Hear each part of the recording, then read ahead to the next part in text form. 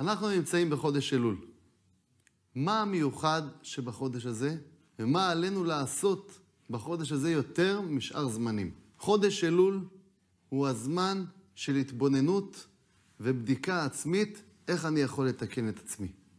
בספרים הקדושים כתוב שבכל חודש אלול, מתחילת חודש אלול ועד יום הכיפורים, לפני שאדם הולך לישון, לאחר קריאת שמע שעל המיטה, לפני שהוא עושה את הווידוי, יחשוב בליבו ויעשה חשבון נפש, מה עבר עליו במשך היום, במה הוא צריך לתקן את עצמו, איך הוא יכול להיות אדם יותר טוב, יותר מועיל לחברה, לקדוש ברוך הוא, כלפי בורא עולם. זה הזמן של ההתבוננות והבדיקה העצמית. מטרת האדם שהגיע לעולם הזה היא בשביל לתקן את עצמו. כל אחד נולד עם מעלות ועם חסרונות. המעלות שהאדם קיבל מן השמיים זה מתנות, הוא לא יכול להתפאר בהן. בשביל מה אנחנו הגענו לכאן? כדי לתקן את מה שחסר לנו, וכך כאשר לאחר 120 שנה אדם עולה לשמיים, זוכה לקבל שכר טוב הצפון לצדיקים על העבודה שאותה הוא עבד. זה הזמן, חודש אלול.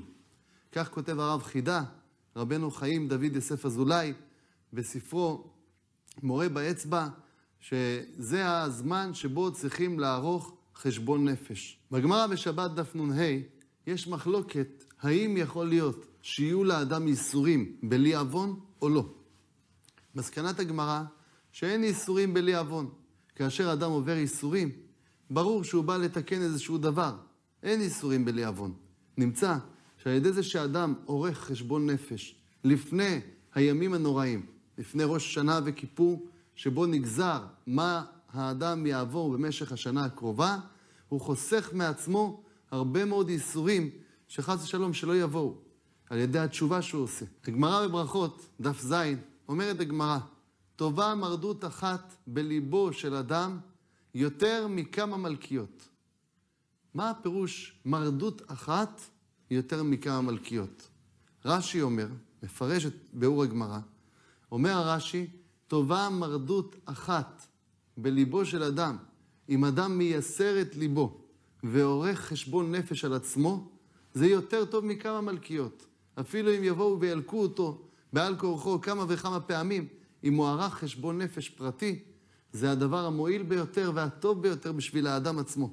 בספרים הקדושים כתוב שכאשר אדם עורך חשבון נפש והוא מתוודה על העוונות שלו, אז מילא כבר אין לו שום ייסורים. כי הוא כבר לבד, התוודה, לבד. הוא אמר סליחה.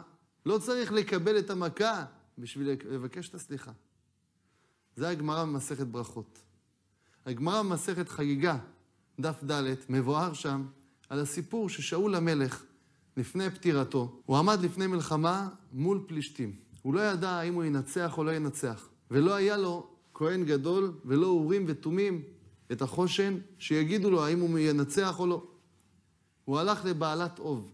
בעלת אוב זו אישה שהיא כמו מכשפת, שהיא מעלה מתים מהקבר, ודרך זה אפשר לשאול את המתים האם הוא ינצח או לא ינצח.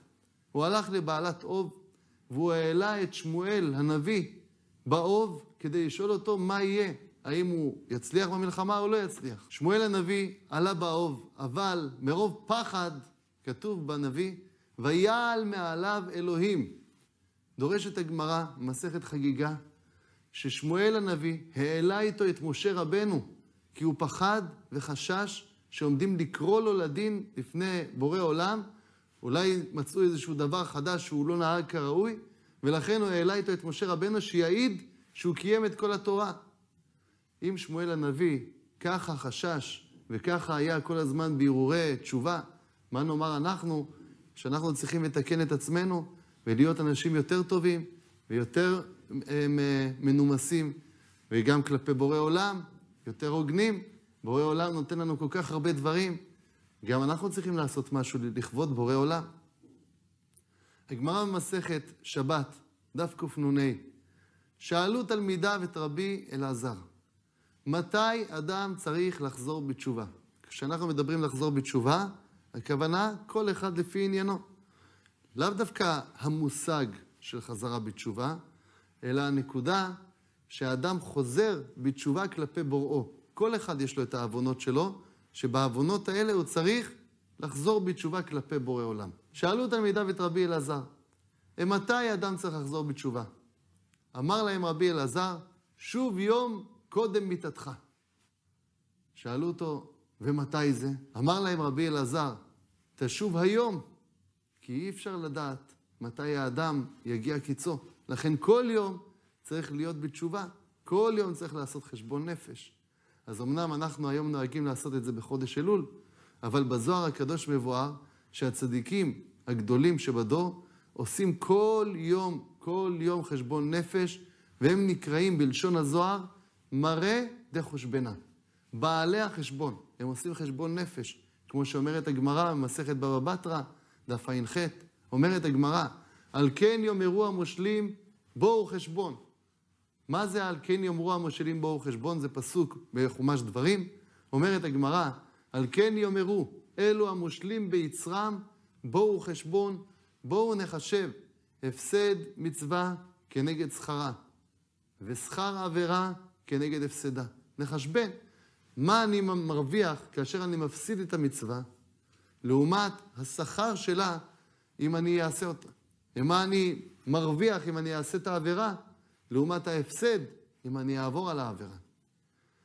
גם כן, יש לנו את איגרת הרמב"ן. הרמב"ן הקדוש, רבי משה בן נחמן, כתב איגרת לבנו. האיגרת הזאת, אנחנו רגילים לקרוא אותה לפחות פעם בשבוע. הרמב"ן כותב באיגרת הרמב"ן, ותפשפש במעשיך, בבוקר ובערב, ובזה יהיו כל ימיך בתשובה. כאשר אדם עושה חשבון נפש, הוא זוכה להיות נקי. איזה שמחה זאת, לבוא לפני בורא עולם בערב ראש השנה ולהיות נקי, להיות רגוע. עשיתי חשבון נפש, אני יודע שיש לי מה לתקן, אני יודע שאני לא מושלם, אני יודע שאני צריך להיות יותר טוב, אבל לפחות אני מודע לזה, אני לא מתכחש לזה. אני לא אומר שאני מושלם. עצם זה שאני יודע שיש לי מה לתקן, זאת סיבה גדולה מאוד להוציא אותנו זכאים בדין.